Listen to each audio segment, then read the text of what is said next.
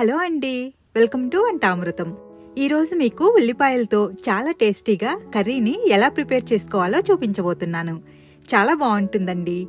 కర్రీని ప్రిపేర్ చేయడానికి ముందుగా పాన్లో రెండు టేబుల్ స్పూన్లు ఆయిల్ వేసుకొని వేడి చేయాలి. ఆయిల్ వేడయ్యాక అర టీ స్పూన్ ఆవాలు అర టీ స్పూన్ జీలకర్ర వేసుకొని వేయించుకోవాలి. ఇవి వేగి చిటపట్లాడేటప్పుడు ఒక రెమ్మ కరివేపాకు రెండు ఎండుమిరపకాయలు వేసుకొని వేపాలి. తరువాత మూడు వందల గ్రాముల వరకు చిన్న ఉల్లిపాయల్ని తీసుకోండి. చిన్న ఉల్లిపాయలు లేకపోతే రెగ్యులర్గా వాడే ఉల్లిపాయల్ని పెద్ద ముక్కలుగా కట్ చేసి తీసుకోవచ్చు. ఇప్పుడు ఇందులోకి పావు టీ స్పూన్ పసుపు రుచికి సరిపడా ఉప్పు వేసుకొని కలుపుకోవాలి. ఉప్పుని ముందే వేసుకోవడం వలన ఉల్లిపాయలు త్వరగా మగ్గుతాయి. ఇప్పుడు పాన్ పైన మూత పెట్టి లో టు మీడియం ఫ్లేమ్లో ఐదారు నిమిషాలు మగ్గించాలి. మధ్యలో కలుపుకుంటూ మగ్గించండి.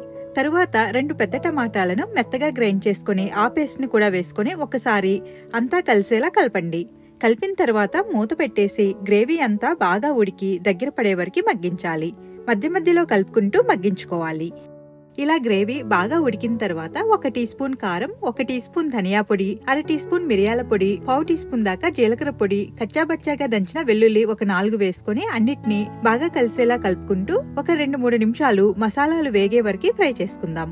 ఇప్పుడు ముందుగానే నానబెట్టి ఉంచిన చిన్న నిమ్మకాయ సైజ్ అంతా చింతపండు రసం తీసి వేసుకోవాలి ఇంకా ఒక కప్పు దాకా నీళ్ళు కూడా వేసి బాగా కలిపి ఉప్పు కారం చెక్ చేసుకొని ఏదైనా తగ్గితే వేసుకోండి. ఇంకా చిన్న బెల్లం ముక్క కూడా వేసుకున్నారంటే పులుపు బ్యాలెన్స్ అవుతుంది. ఇప్పుడు ప్యాన్ని కవర్ చేసుకొని ఎనిమిది నుండి పది నిమిషాలు మీడియం ఫ్లేమ్లో ఉడికించుకుంటే ఉల్లిపాయలు బాగా మగ్గుతాయి.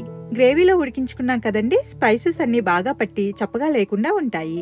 చివరగా కొద్దిగా కొత్తిమీర చల్లుకొని జస్ట్ అలా ఒకసారి కలిపి స్టవ్ ఆఫ్ చేసి వేడివేడిగా సర్వ్ చేసుకోవడమే. ఈ రెసిపీ మీకు నచ్చినట్లయితే మర్చిపోకుండా లైక్ చేసి మరిన్ని టేస్టీ అండ్ సింపుల్ రెసిపీస్ కోసం వంటామృతం ఛానల్ని సబ్స్క్రైబ్ చేసుకోండి. Thanks for watching